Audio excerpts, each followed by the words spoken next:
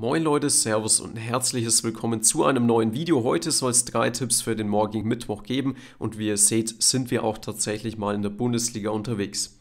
Bevor wir anfangen, möchte ich dir eine Gruppe von meinem Kollegen vorstellen. Der bat mich darum, dies kurz zu tun und im Endeffekt geht es hier um High-Risk-Scheine mit genauen Ergebnissen, die er in seiner Gruppe postet. Ich packe dir einfach mal den Link dazu in die Videobeschreibung. Wenn dich solche Wetten interessieren, kannst du gerne mal bei ihm vorbeischauen.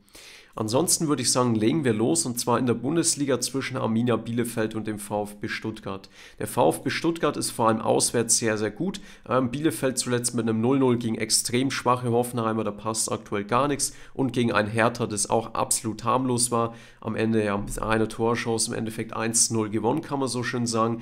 Ähm, dagegen haben wir Stuttgart, die tun sich auswärts relativ einfach. Sie, sie spielen für einen Aufsteiger eine richtig gute Saison.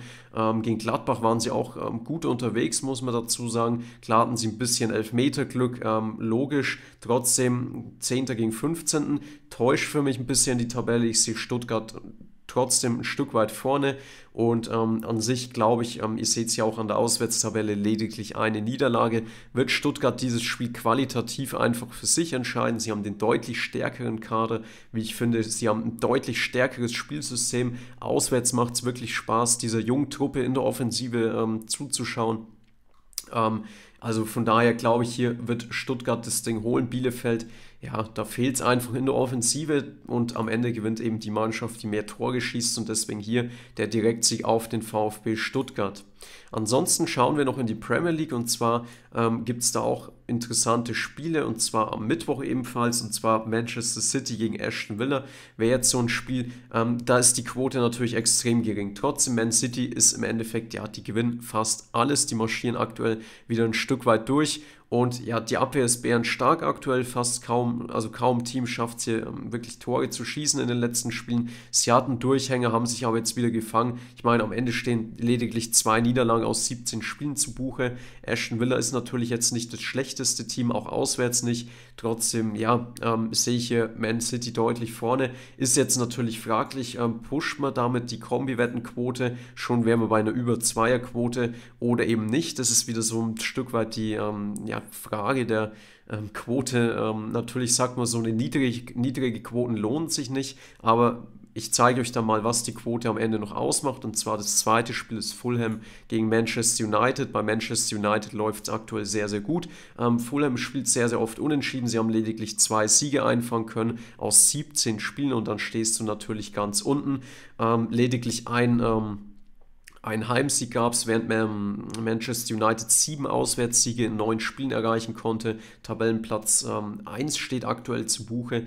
Und ich glaube, auf, aufgrund der aktuellen Form, und schaut euch den Kader an, allein, allein wenn man die ersten Spieler hier liest, ähm, dann ist hier einfach ein gewaltiger Unterschied, wie ich sehe. Und an sich kann ich mir hier nur ein Spiel auf ein Tor vorstellen, ähm, was entweder unentschieden endet oder in Richtung Manchester United geht. Aber aufgrund der aktuellen ähm, Performance glaube ich, dass Manchester United es holen wird. Und jetzt haben wir im Grunde den Fall, wir haben hier eine 2,75 Quote packt ihr das Ding drauf, habt ihr schon 3,37 Quote im Endeffekt.